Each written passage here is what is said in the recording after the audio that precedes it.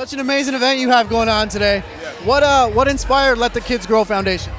You know, coming from humble beginnings, knowing that a lot of at-risk youth, people forget about, they don't realize how important it is that, you know, we look at the next generation because that's our future. And education is a big, big, amazing part of it, education. Now, what's the one of the biggest successes that you guys have done?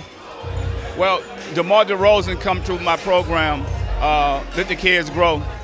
Him and Brandon Jennings in the NBA right now. And they come from poverty, and, and well, now these guys are doing great, so I feel real great. What do you have going on right now with uh, your career as well, aside from this? Yes, a lot of movies, a lot of TV, a lot of music.